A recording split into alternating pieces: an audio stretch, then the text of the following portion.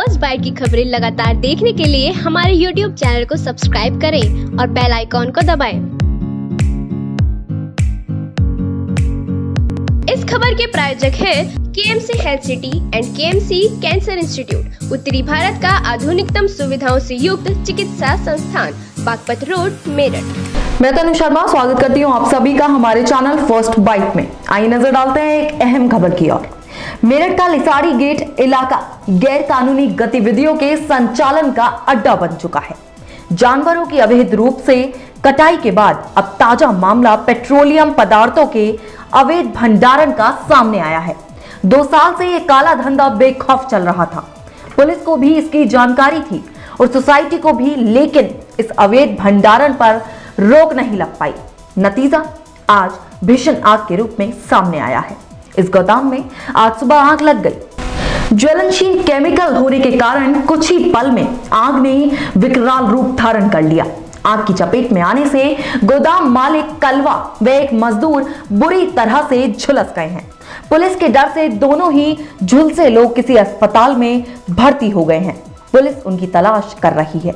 मौके पर मौजूद तरार अहमद ने यह जानकारी दी। जी मेरा नाम करार हुसैन है और स्टूडेंट सेवा समिति का अध्यक्ष हूँ सर भाई क्या मामला हुआ आज यहाँ मामला हुआ है यहाँ ये जो ऑयल होता है जो गाड़ियों में डलता है पेट्रोल उसको दो नंबर की तरह से बनाया जा रहा है मिक्स करके जैसे यहाँ बस्ती के अंदर।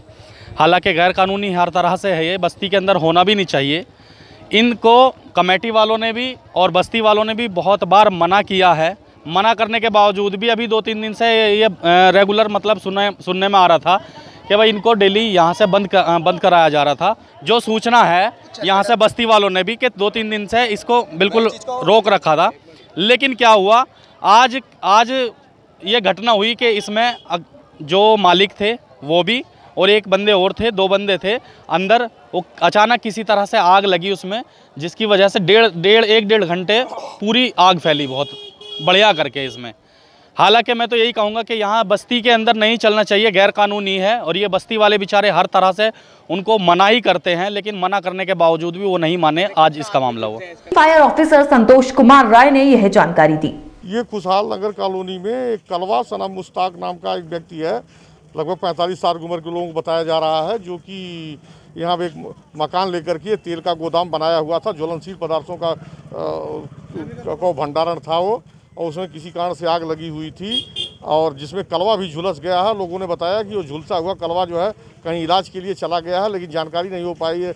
पता किया जा रहा है कि वो कहाँ पर इलाज करा रहा है और आग पूरी तरह से बुझा दी गई है। इस खबर में फ़िलहाल इतना ही। ऐसी खबरों के लिए बने रहे हमारे चैनल फ़र्स्ट बाइट के साथ। साथ ही हमारे चैनल को सब्सक्राइब करें और बेल आइकन दबाना ना भूलें।